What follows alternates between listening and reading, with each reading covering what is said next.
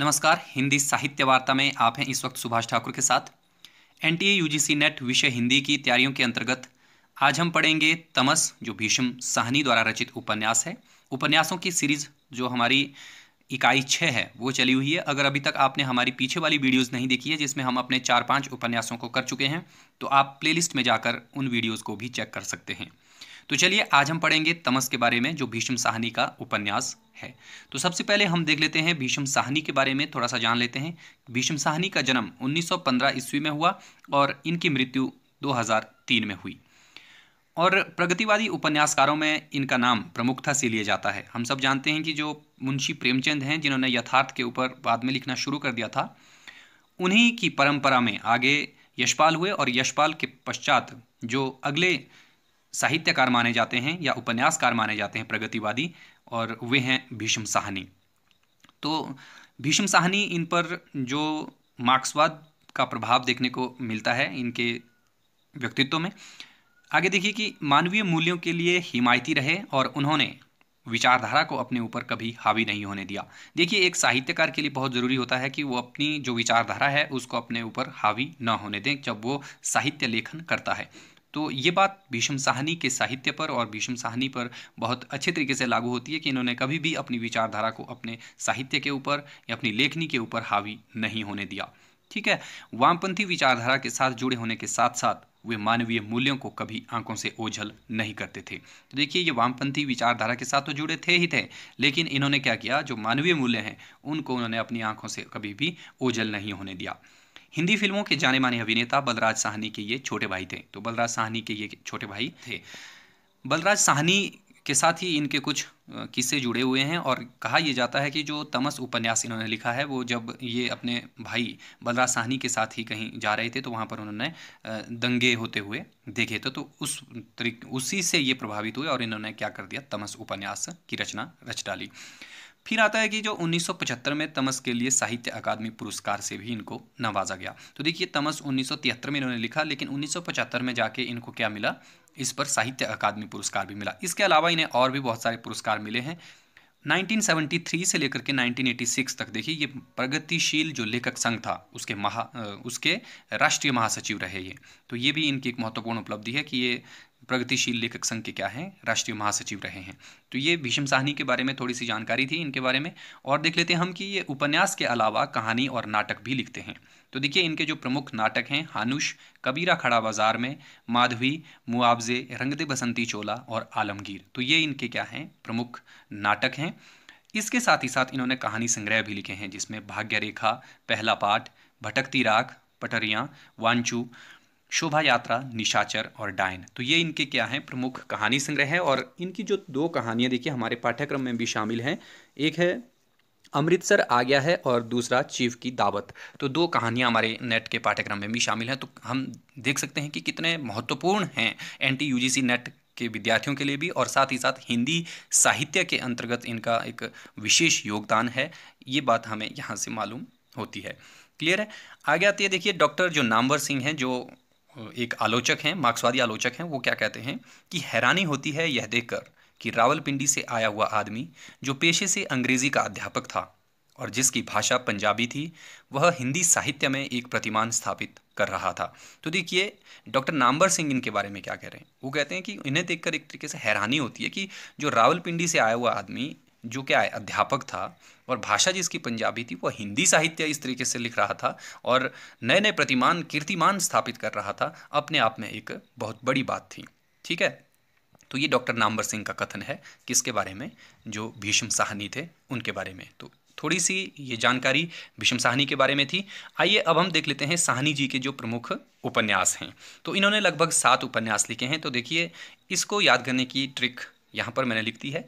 अगर आप को ये उपयोगी लग रही है तो आप इसको अपना सकते हैं। देखिए, झक त्वम कुनी। तीन शब्द याद रखने हैं, झक त्वम कुनी। तो देखिए, नीचे एक एक जो पहला वर्ण है, ठीक है, उससे ही हमने इसको बिल्कुल जो क्रमानुसार रखा हुआ है।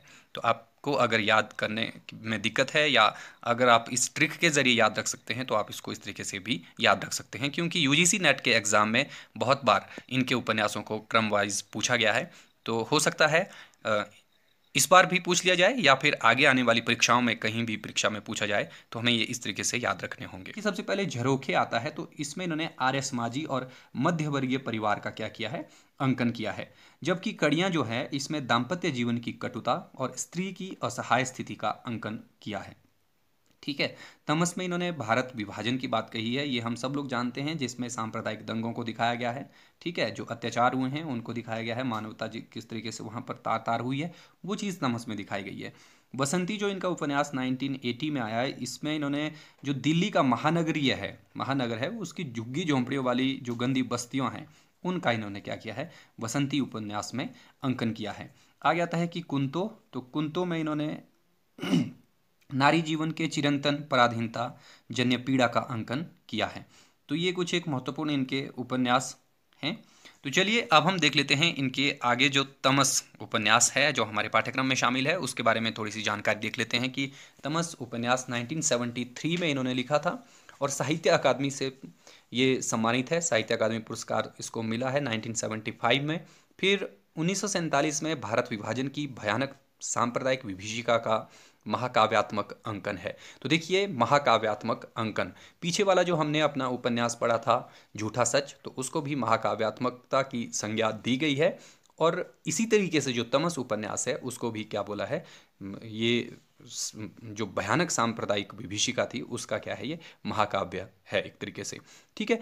आगे देखिए, इसमें सिर्फ़ और सिर्फ़ पाँच दिन की घटना है। बावजूद इसके इसको क्या कहा गया है? महाकाव्या, महाकाव्य कहा गया है। सिर्फ़ पाँच दिन की घटना को जो भीष्म साहनी ने इस तरीके से प्रेजेंट किया है कि वो एक महाकाव्य बन पड़ा है। तो ये आप समझ सकते हैं कि किस तरीके के किस्म किस्म के और उच्च कोटि के जो साहित्यकार रहे हैं भीष्म साहनी जी। आ गया था कि भीष्म साहनी की प्रसिद्धि का आधार भी यही उपन्यास रहा है। तो तमस उपन्यास से ही इनको क्या मिली है? प्रसिद्धि मिली और इसी के चलते इनको इसमें साहित्य अकादमी पुरस्कार भी मिला है। ठीक है?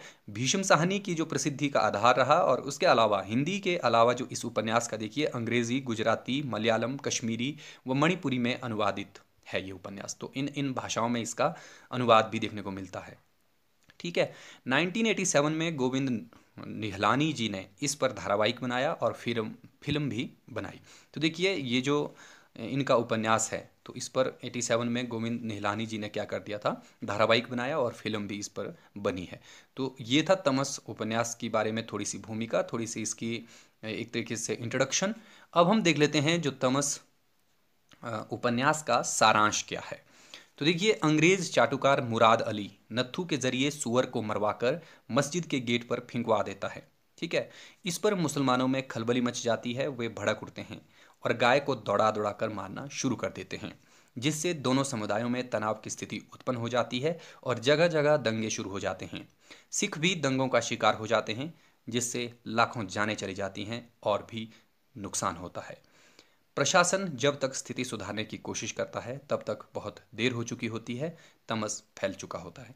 तो देखिए, संक्षिप्त जैसी इसकी मैंने एक समरी जैसी बनाने की कोशिश की है कि इस उपन्यास में क्या चीज़ है मेनली कि कहाँ से ये शुरू होता है? एक व्यक्ति जो नथु इस उपन्यास का नायक भी है, वो क्या करता है कि जो सुअर होता है, जो मुराद अली होता है, वो अंग्रेज़ों का चाटुकार होता है, ठीक है? वो नथु को क्या करता है कि एक सुअर मारने को बोलता है कि उसको कहाँ पर फेंकते वो मस्जिद मस्जिद में फेंक के आए। और वो भी सिर्फ़ पाँच रुपए के लिए। वो सुअर को मार देता है, उसके बाद क्या होता है कि जो मुस्लिम समुदाय था, उसमें स्वाभाविक है कि खलबली तो मचेगी ही मचेगी, ठीक है? लेकिन क्योंकि उनकी जो आस्थाएँ हैं, धार्मिक आस्था है उनकी, उस पर उसको कहीं ना कहीं ठेस पहुंचेगी। और जब उस तरीके से होता है तो वो क्या कर देते हैं? गायों को दौड़ाना शुरू कर देता है, गाय को मारना शुरू कर देते हैं और इससे हिंदू भड़क जाते हैं। जब हिंदू भड़क जाता है तो क्या होता है? उस पर तनाव तनाव की स्थिति उत्पन्न हो जाती है। स्थिति उत्पन्न, तनाव की अगर हो गई तो फिर स्वाभाविक था कि दंगे तो होना ही है। और उन्हीं दंगों के बीच में मतलब चार पाँच दिनों का जो भी पूरा का पूरा प्रकरण उस बीच हुआ, कि कितना दुराचार फैला उसमें, है ना? अत्याचार कितने हुए? उसमें जो निर्दोष लोग थे, उनकी जाने गई हैं। तो यही इस उपन्यास का सार है थोड़ा सा कि इस घटना पर ये पूरा का पूरा प्रकरण होता है कि कुछ चंद लोग क्या है, अपने स्वार्थपरता के लिए, है ना, क्या करते हैं कि जो दो समुदायों को आपस में लड़वाते हैं। ठीक, इसमें सिख संप्रदाय का भी बीच में ज़िक्र आता है कि सिख संप्रदाय के लोग भी इसमें शिकार होते हैं दंगों के। और प्रशासन तब जागता है जब तक बहुत देर हो चुकी होती है, जब तक तमस छा चुका होता है। मतलब अंधेरा, तमस का मतलब होता है अंधेरा, अंधकार। तब तक अंधकार फैल चुका होता है, जो सांप्रदायिकता रूपी जो अंधकार है, ठीक है? जो मानवता को खत्म कर देता है, तहस नहस कर देता है। तो ये इस उपन्यास का थोड़ा सा सारांश था। समीक्षा देख लेते हैं कि तमस जो है वो भीष्म साहनी का सबसे प्रसिद्ध उपन्यास है। और इस उपन्यास की कथा वस्तु उन्नीस सौ सैंतालीस में पंजाब में हुए भयानक सांप्रदायिक दंगों पर आधारित है। इसमें दो खंड हैं, पहले खंड में सांप्रदायिक तनाव की कहानी तो देखिए इसमें खंड हैं, भाग नहीं है। खंड का मतलब है कि एक ही पुस्तक में दो खंड हैं इसके। हालाँकि जो पीछे वाला उपन्यास हमने पढ़ा था, जो झूठा सच था, उसमें दो भाग थे। जो पहला था वतन और देश, दूसरा था देश का भविष्य। लेकिन इसमें दो खंड हैं, लेकिन एक ही पुस्तक है। दूसरे में अनेक गाँव उपन्यास की परिधि में आते हैं। विभाजन की त्रासदी पर अनेक रचनाएँ रची गई, परंतु तमस उन सब में से श्रेष्ठ रचना मानी जाती है। देश के विभाजन और उसके बाद होने वाले लोमहर्षक दंगों और उस समय की राजनीति का जैसा चित्रण तमस में मिलता है, वैसा किसी कृति में नहीं मिलता। अंग्रेज़ी सरकार का चमचा मुराद अली नथु चमार को पाँच रुपए देकर सुअर मरवाता है और उसे मस्जिद की सीढ़ियों पर बिकवा देता है, जिससे मुसलमानों में खलबली मच जाती है और वे गाय मार देते हैं। परिणाम स्वरूप शहर में सांप्रदायिक तनाव उत्पन्न हो जाता है और दोनों संप्रदाय दूसरे के खून के प्यासे हो जाते हैं। पूरे शहर में हत्या, लूट, आगजनी, खुलेआम होने लगती है। सांप्रदायिकता की आग गाँव में फैल जाती है। तमस की पृष्ठभूमि में देश के विभाजन की वे घटनाएँ हैं, जिनमें लाखों बेगुनाह लोग मारे गए या फिर बेघर हो गए। औरतों ने आत्मरक्षा के लिए कुएँ में कूद कर जाने दी। इस प्रकार हिंदुओं, मुसलमानों और सिखों के बीच नफरत और द्वेष की भावना फैलाकर राजनीतिक दलों ने अपना उल्लू सीधा करने की कोशिश की। आज़ादी से पूर्व सांप्रदायिकता की बैसाखियाँ लगाकर जो पाश्विकता इस देश में फैली हुई हैं, उसका अंतरंग चित्रण भीष्म साहनी ने इस उपन्यास में किया है। हिंदी, उर्दू, पंजाबी और अंग्रेज़ी भाषा युक्त।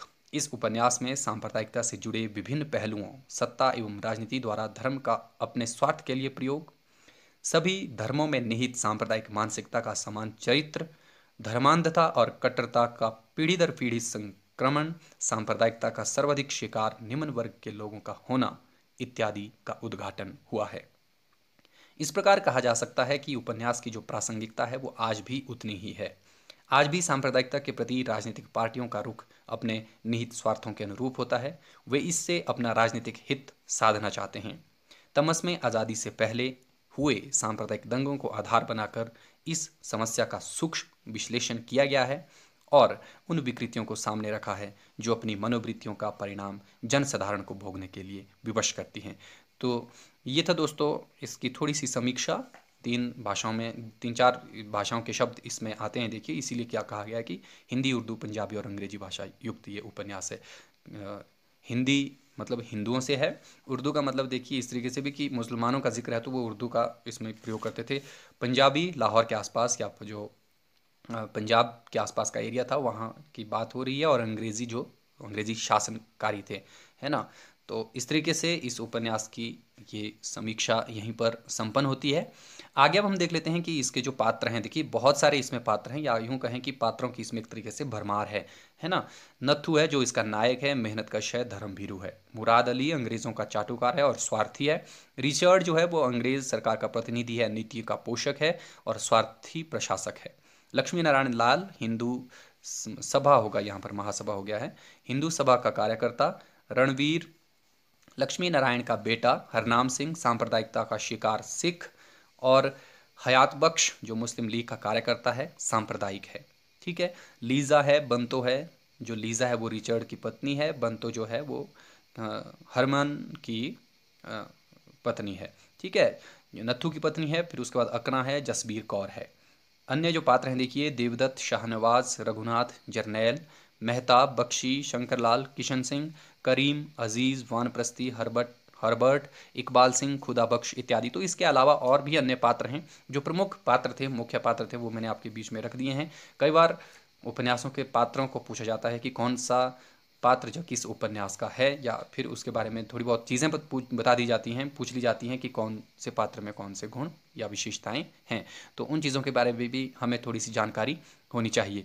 तो ये था दोस्तों तमस उपन्यास। उसके बारे में थोड़ी सी समीक्षा या उसके प्रमुख जो पात्र हैं, कब लिखा गया और भीष्म साहनी की जो प्रमुख रचनाएँ या प्रमुख उपन्यास कौन कौन से थे, आज हमने आपके बीच में डिस्कस किए। अगर आपको वीडियो अच्छा लगा हो तो प्लीज़ अपने दोस्तों के बीच में इसे शेयर कीजिए। लाइक कीजिए और चैनल को सब्सक्राइब करना ना भूलें। तो फिर मिलेंगे नई ऊर्जा और नई स्फूर्ति के साथ।